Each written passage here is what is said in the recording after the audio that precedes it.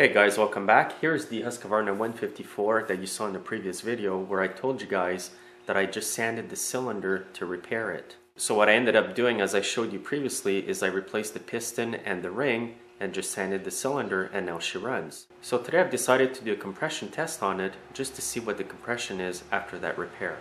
So I'll just take the cover off, get the spark plug off as well. Just going to screw in the compression tester. Now what I've done is I've tie wrapped the throttle wide open as you can see here and I'm going to pull it over until the needle stops going up.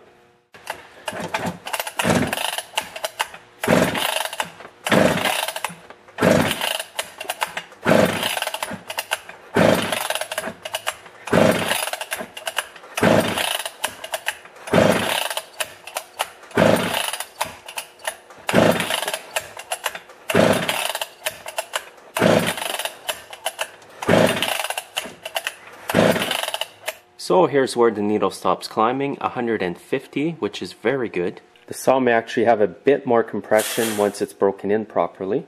So 150 pounds is a good reading. If you start getting any readings under 100, it's pretty well time to rebuild the whole top end.